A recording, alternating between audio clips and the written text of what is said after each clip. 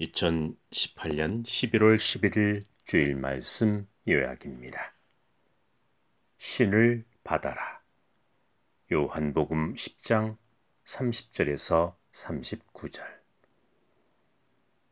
이 땅에 그리스도의 복음이 들어오기 전까지 수많은 종교가 있었습니다. 수많은 사람들이 하나님의 말씀을 선포했습니다. 삶의 질서를 바로잡고자 채찍의 말씀을 들기도 했습니다. 하나님께서는 때에 따라 점쟁이를 통해서 무당을 통해서 스님을 통해서 유교의 말씀을 통해서 가르치셨습니다. 그리고 때가 되매 그리스도를 보내주셨습니다. 그리스도라는 성령을 받기 전엔 수많은 신들이 말씀을 선포하며 이 땅의 질서를 바로잡고자 했습니다. 그 신은 하늘에서 내려온 신이 아니라 조상신이었습니다. 조상신을 받아서 점을 치는 점쟁이와 무당, 이들이 선포하는 말씀이 무엇이었습니까? 욕심이 목구멍까지 찼다. 술 먹지 말라. 강도짓 하지 말라. 도적질 하지 말라. 사람에게 잘해라.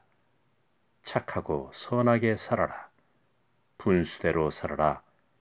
욕심내지 말고 살라는 말씀을 선포했습니다. 너의 결혼할 짝이 아니다. 이 사업을 하면 망한다. 연애를 함부로 하지 마라.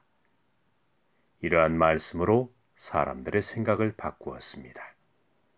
교만한 생각을 겸손하게 만들었으며 무지하고 헛된 삶을 살지 않도록 점을 치고 구술했습니다. 무당들은 악한 귀신들을 쫓아내고 가정에 사랑과 평화가 임하게 하는 일을 해왔습니다. 그러나 가짜 점쟁이가 있었으며 변질된 무당들이 있었습니다. 돈을 밝혔습니다. 욕심을 내지 말라 하면서 본인이 욕심을 내며 물질을 중심했습니다.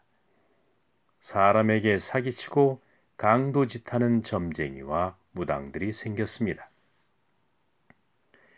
하나님께서 허락하신 신내림을 받는 자들이 있는 반면에 하늘이 허락지 않는 귀신, 잡신을 받아서 점을 치고 무당짓을 하는 자들이 있었습니다. 사람들의 삶을 파괴하는 점쟁이와 무당들이 있었습니다. 스님도 마찬가지입니다. 그리스도의 영을 받았다는 기독교인들, 신부들, 목사들 또한 마찬가지입니다.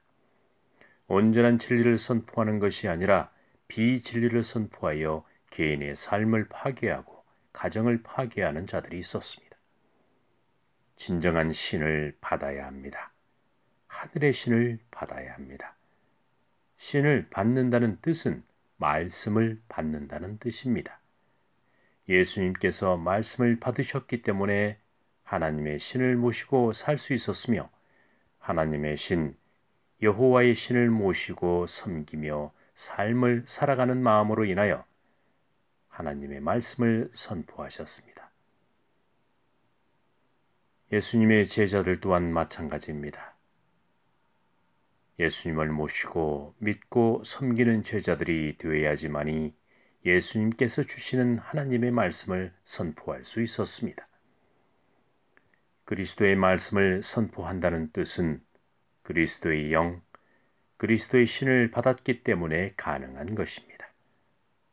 하나님께서는 때에 따라 조상을 통해서 이 땅을 보호하셨고 때가 되매 그리스도의 영을 통해서 이 땅을 보호하셨습니다. 예수님께서 하나님의 신을 받았듯이 우리는 그리스도의 신을 받아야 합니다. 예수님의 신을 받았다는 것은 하나님의 신 성령을 받는 것입니다. 이번 주 말씀은 신을 받아라입니다. 한 주간 묵상 말씀으로 말씀 이어가도록 하겠습니다.